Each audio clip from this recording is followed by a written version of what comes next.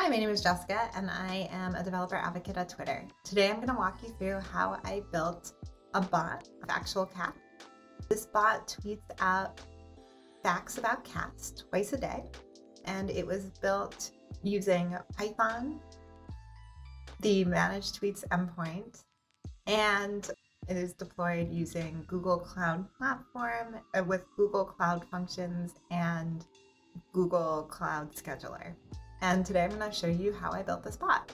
One of the things I love about Twitter in general is the amount of automated accounts, otherwise known as bots, that are on the platform. There are bots that watch TV, there are bots that help you add alt text images, there are bots that tweet out old roadside pictures. Bots really enrich the Twitter experience and they make Twitter Twitter to me. So,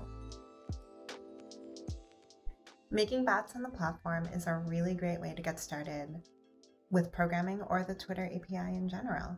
Um, one of the things for me that really helped build up my technical confidence as a developer was building a bot. I remember the first time that I was able to make a tweet from my own code. I was like, "Oh my god, I did it. I made my like code make internet happen without having to deal with servers or anything like that. And I was just like really excited to have my code make a tweet happen. So your first step is going to want to be to set up the profile that you want for your bot account. You'll first want to sign up for a new Twitter account if you don't already have one. From there, you're going to want to upload the images that you want, your uh, main profile image and um, the background image. So we have two very cute cats here.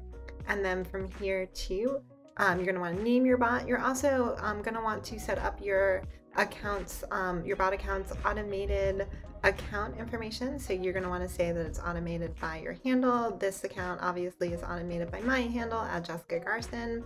And then you're gonna wanna set, set up your bot's profile bio as well. Um, so that's kind of gonna be the first step um, in a series of how you're going to want to get up, go ahead and get started authenticating to your account.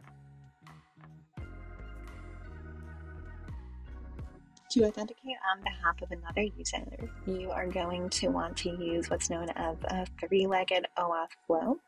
For this example, we're going to use OAuth 1.0a to make a request on behalf of a user and in this case, we're going to make a request on behalf of my personal handle at Jessica Garson to authenticate on behalf of at Factual Cat. So the first thing that we're going to want to do here, and we're inside of a request helper. This just gives you kind of a framework to make requests. And so this is known as a REST client. I like Insomnia. Another great option is Postman as well. So we're just going to make a post request to api.twitter.com slash OAuth slash request token. And then from here, we can press send. And then we should have um, an OAuth token inside of our response. And also, one thing since we're going to want to be using pin based OAuth, um, we're going to want to make sure that in our query, OAuth callback is set to OOB. So if you are logged in as your bot account, you can see here that I'm logged in as at Factual Cat. Um, from here, if we go to api.twitter.com slash OAuth slash authorize, and then we do a question mark and we have, then we kind of paste the OAuth token that we got back in our response from our last request.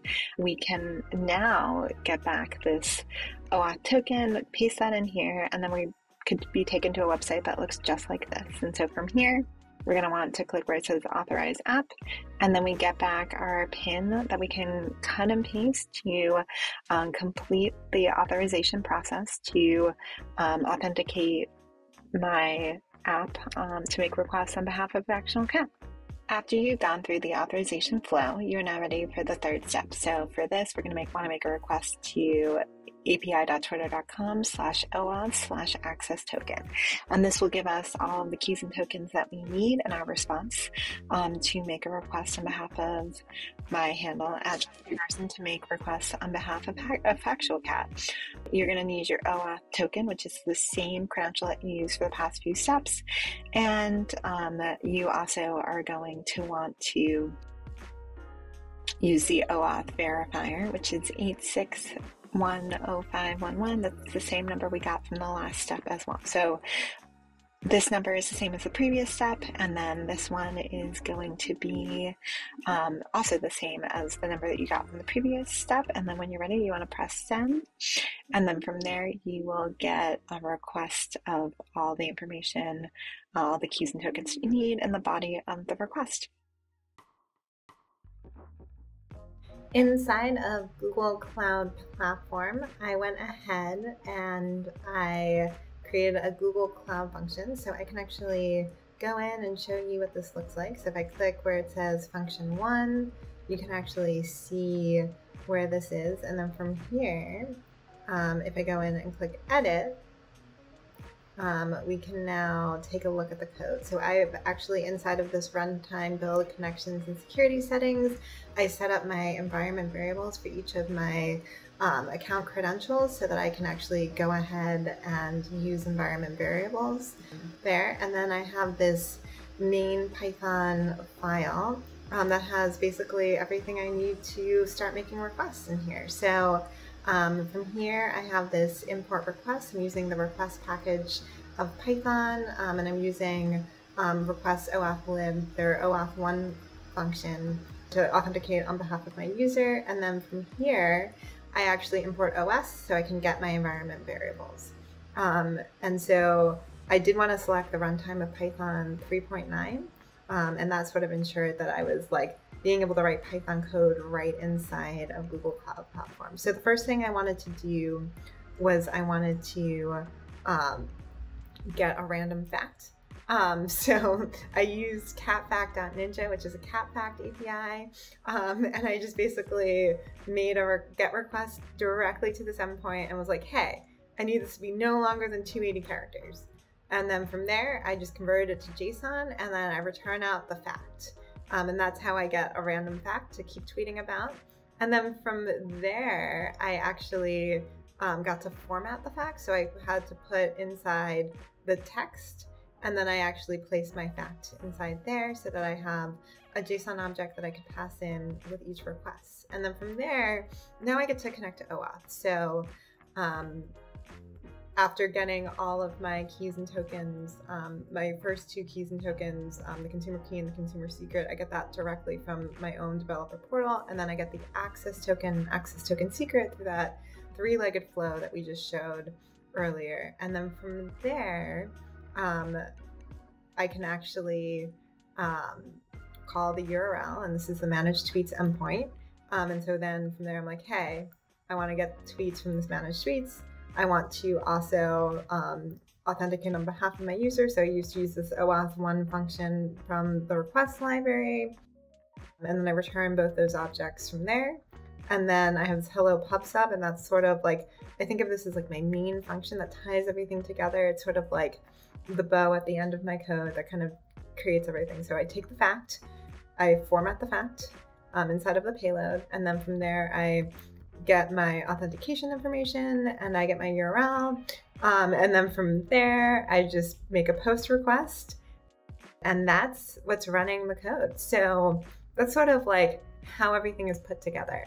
But we also use um, Google Cloud Scheduler. So if I search for Cloud Scheduler in here, from here, I actually can see the cron job that I'm running.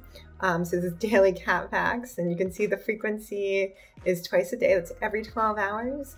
Um, so from here, you can actually um, configure that. I live in the East Coast, so I get to configure it all, and I can also um, change this if I wanted it to only tweet once a day, or if I wanted it to tweet every hour, I can actually do that in there. So um, that's a little bit about how everything is built and deployed. There is a tutorial that goes along with this video that walks you through how to create a Twitter bot with V2 of the Twitter API. This is basically a how-to example of how I did everything that is in this video. So it walks you through each step from creating your bot account, uh, authenticating on behalf of your bot, to posting your first tweet on behalf of your bot, and then setting up the Google Cloud functions. Everything is actually written out for you step by step, and you can adjust it if needed to meet the purpose of your own bot. Thank you for watching today. Um, it is our hope that this video inspires you to create your own bots on the platform. If you do, please let us know. Um, you can tweet at us at Twitter Dev. If you create any bots that you want to share with us, let us know on the Twitter community forums, twittercommunity.com. Um, that's also the place to go if you run into any troubles or um, have any questions along the way. We're here to help. Um, thanks so much again, um, and we look forward to seeing what you build. Thanks.